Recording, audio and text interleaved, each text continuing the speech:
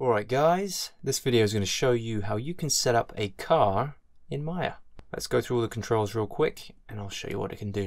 So we have this root control, pretty standard stuff, allows you to move it wherever you want to move it.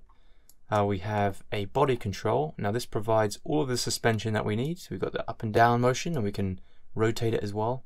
Provide a little bit more bouncy motion. We've got individual wheel suspension as well. And this is great for attaching our wheels to a bumpy terrain using a geometry constraint. We have rear axis controls for hitting the brakes and skidding. Uh, we also have the same thing for the front. We also have a drive control. Now this is what all the wheels are connected to. So very similar to the tank, actually uses the exact same expression. So if I move this drive control, you can see all the wheels are interacting. Get a little bit closer there.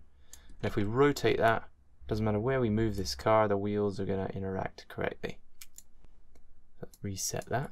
We also have these other attributes on this drive control. We have steering. Now this is pretty cool because it interacts with that expression as well. And you'll see that some distance is covered on the wheels and it provides some additional rotation, which is very cool. It's a pretty realistic effect for steering. We also have some front wheel spin and some rear wheel spin. That's just additive to the drive. We also have these adjustment controls. Now these are what really set this rig apart because you can use these to adjust the entire rig to fit pretty much any four-wheeled vehicle. So I'll show you what I mean here. We can adjust the width. Obviously if you've got a wider car. If you've got something like a stretch limo, you can just adjust the length until your wheels match up. Go smaller if you need to. We also have a steer radius. Now what this is, is the distance between the pivot point of our steering here and the center outermost point of the wheel. If we increase that, say we have something like a racing car where the, the wheels are a little bit further away from the steering, uh, you can still have the, the proper math applied to those wheels. Because if you just moved it out on its own without adjusting the math, the wheels wouldn't rotate correctly. So that's what that's there for. We also have our wheel radius. Now this is a big one. This one you would adjust to fit the size of your actual wheels. So if they're a little bit smaller or a little bit bigger, you'll notice that the chassis moves up with it and everything else moves up with it as well, the controls. So the idea is to match these display rings to the size of your wheel. So I'm going to show you some examples here. So I have a car attached to this. So we've got everything working. We can adjust the suspension if we need to and animate it, uh, rotate it, do all the things that I just showed you. It's exactly the same rig. All that's different is this body of the Mazda 3 has been skinned to the body joint of this rig. Now if we want to go into a different size vehicle, I'm just going to grab a van model here. It's pretty crude, pretty shitty. What I did is I set some keys on these adjustment attributes to fit this van and then made some minor adjustments to the mesh to make sure that the wheels were exactly in the center of the, uh, the joint pivot points. If we move this around, you can see that everything is still going to work with it. Right, so it makes it very, very versatile and the reusability of this rig is awesome. So let's go ahead and set up this rig. So first thing you want to do is grab this scene file. You can find this on my website. It's totally free. There's no sign up, none of that stuff. It follows the exact same format as my previous tutorials. Had a lot of positive feedback about those. So we're just going to keep going with that same format. If you've never done a tutorial of mine in the past, uh, basically uh, you grab a scene file and, and inside it is everything broken down into groups that correspond to videos. So there'll be three videos for this whole tutorial, three parts to it. And inside it are all the parts that you need. Everything's already created in there for you. None of it is actually connected. So we're going to be going through and connecting it up together so you can understand all the crucial stuff that you need to know. All the rest of the stuff like creating joints, all that stuff, I assume you already know that. That's why we don't have to go through that part. We just want to get through this, learn what we need to learn, and have a really cool rig at the end of it. I will mention though, if you do want to bypass the entire rigging process and you just want the final connected up rig to use for your project, you can grab that on my store as well. So let's get going. We're just gonna continue this video on the chassis. So let's hide part two and three. We don't need to do anything with those in this video. If we open it up, we can see all the pieces that we have here. First thing we're going to do is create our main hierarchy. So this car group here, this is going to be our main container for everything. And we also have our rig group here, which is going to contain all of our rig information and geometry is going to have all our mesh in there. So we're going to grab these two groups and we're just going to parent them to car group. Now all these are just placed in the center of the world, literally containers to keep everything organized. Next thing we're going to do is create some joints. Now our root joint is the first joint that we're going to deal with. And that one is right there in the center of the world. That one is going to be parented to our rig group, and that's going to be the start of our main skeleton. Uh, next joint we have is the chassis joint. Now this is going to be in the exact same spot as the root joint, but you're going to move it up 35 units. And this is going to be the exact value that we're going to be using for the default radius of the wheels. So that's not an accident that that's set up at 35 there. So we're going to parent that one to our root joint. The next thing we're going to do is create four more joints. And now these are going to be our width joints. And these are our main resizing joints. Now they're also going to be set at 35 units high, but they are going to be in line with our wheels. So if I just unhide the wheels real quick, these ones here are going to be positioned directly in the center of our wheel. And they're going to be moved in a little bit, something like 20. Doesn't have to be exact, but I just wanted a nice round number so we can easily connect this to attributes and uh, resize it. So I'm just going to hide the wheels. So you can just grab those joints and parent those to the chassis joint, just like that. Next thing we're going to do is we're going to skin our chassis tutorial mesh here to these joints. So we're going to grab all of our width joints, our chassis, and our chassis mesh. And we're just going to go up to rigging, skin, bind skin. I'm just going to apply, grab the component editor right here. This is probably the quickest way to skin these. So we're going to go to the smooth skin tab. We're going to go to our vertex selection here of everything in this corner right here. And we're going to set those. This is the right side, this is the left, and this is the front.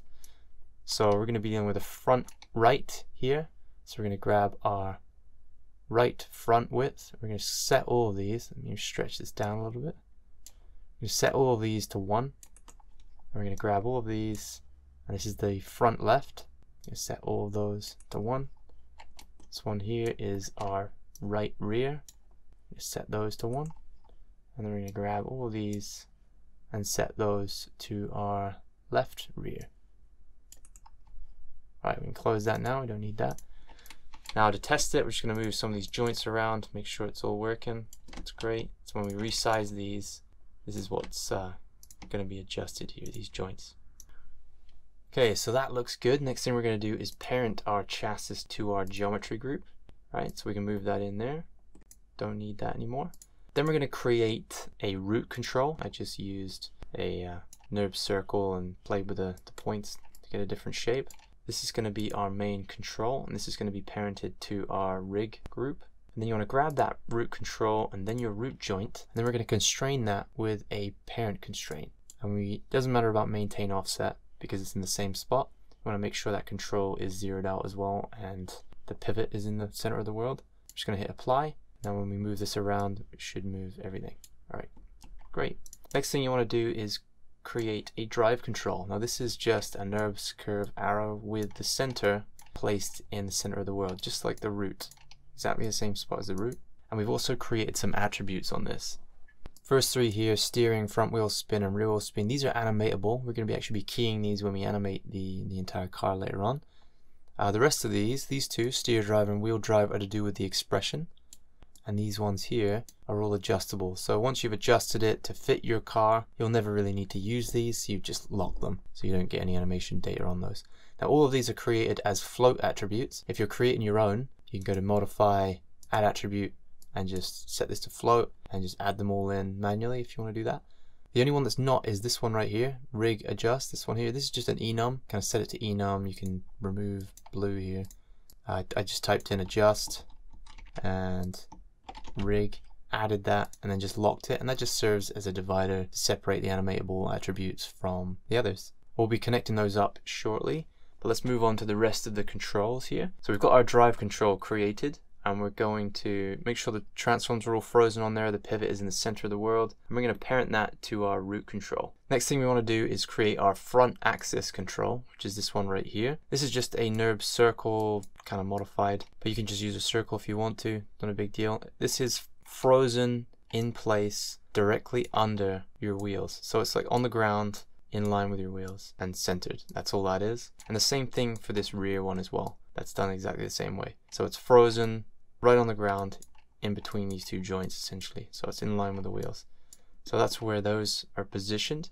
Our front axis control gets parented to our drive control. Again, make sure the pivot point of that control is directly on the ground and in line with our wheels. Same with the pivot on the rear axis. And the next one that we need to parent in here is this rear axis control, but we need to be able to move it manually with our adjustment attributes. So we need a separate node kind of take that motion for us. So we've created a rear axis reset node here. All that is is just an empty group positioned in the exact same spot as our rear axis control. So we can parent our rear axis control to that reset and then parent our reset node to the front axis control. So the hierarchy should look like this.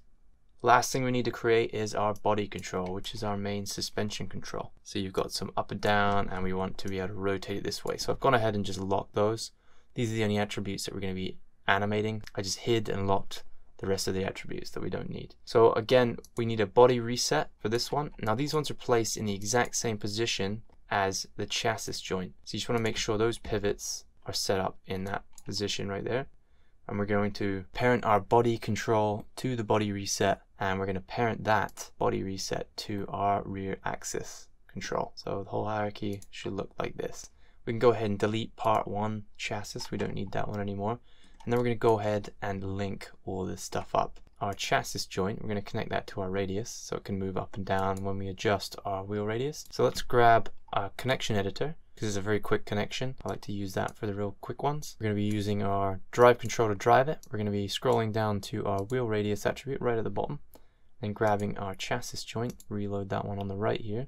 And we're just going to go down to our translate Y and connect that up. So now when we adjust our wheel radius, we have that joint moving up and down. Uh, next thing we're going to do is we're going to grab our rear axis reset. We're going to put that in here and we want to drive that with our length adjust. It should be already at zero and our attributes at zero. That works out perfect. So we can grab our length adjust. We're going to connect that to the rear axis reset translate Z. So when we adjust our length, we can shift that back and forth, right? Right now that we've got that connected, we want to constrain our chassis joint here to our rear axis control. So we're going to grab rear axis control and our chassis joint. We go constrain parent and because we're already using translate Y here we're just going to take off all and just put X and Z for our translate. We're going to hit apply.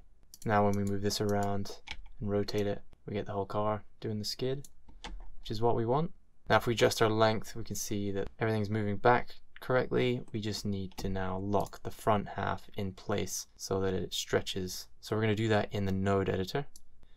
I'm going to turn off shapes, just hit no shapes, and we're going to select our joints here. We can add these in, and we're going to grab our drive control, add that in, double click that one there to get all the attributes that we need. And we're going to create some nodes. Now usually you just create a node by right click, create node, type it in.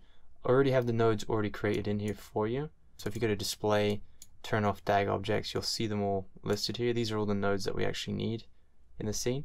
Uh, the first one we're going to create here for this is the front axle adjust PMA, which is just a plus minus average node. That's all that is. We're just gonna we're just gonna add that in. There it is right there. We're gonna open that one up. We're gonna connect our length adjust to input 1D1. And if you don't see that, uh, just connect it to 1D0 first and then the next one will appear and then you can just remove the first one. And then what we're going to do is we're going to take the value here of our translate Z, which is which is this way, which is our distance this way, because this is the way we're moving with our length. And that value is 121.403. We're going to copy that, and we're just going to paste that into our input 1D, which is already in there. So we're just going to put that in right there. That's what that is. Now we're going to take the output 1D and plug that into translate Z of both of our front width joints. So translate Z or Z and translate Z or Z. Right, so now they're in place. If we quickly test this, go to the drive control channel box. If we move that length, you can see that we're going the wrong way. Okay, so we can just double click that one and set that to subtract. There we go.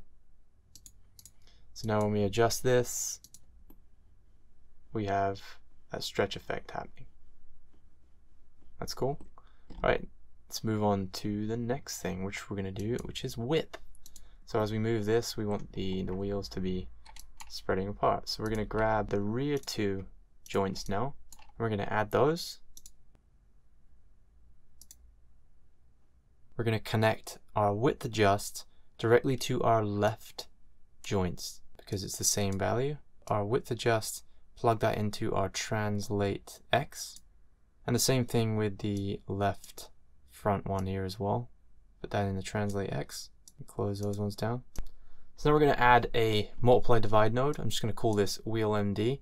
And this is just going to handle a whole bunch of invert calculations that we need to do. Just saves having a whole bunch of nodes. We're just going to use this one for three inverts instead throughout the tutorial. So this is our first one we're going to plug in here. We're going to grab the width adjust. We're going to plug that directly into input 1x. Let's open this up. Move that out the way. And we're going to make sure that the input 2 on all of these is just set to negative 1. And that's just going to invert the value. And then we're going to grab the value from here, our output x, and we're going to plug that into our translate x and our output x into our, not sure why that's not showing up. There we go. Our output x into our translate x. So now when we use our, let me close that down. When we use our width, we can see that the width grows now and we have our length working as well. Now we're pretty much ready to move on to the next part. So I'm just going to recap real quick, make sure we're all ready here. Uh, you want to make sure that your wheel adjust control works, your length adjust is working, and also the control hierarchy needs to be in this order specifically or you're going to have some issues. So we want to make sure that our rear axis control moves our body control because we still want to have our suspension available when we use that control. We also want to be able to move all of those controls when we move the front axis control and we want everything to move with our drive control. So if everything looks good your end and it matches this, then you're ready to move on to part two. And in part two, we will be dealing with the drive control mainly. And of course, we'll be setting up our main steering control. So it's about to get a little bit more exciting than what we've done already. So stay tuned and I'll see you in the next video. Thanks for watching.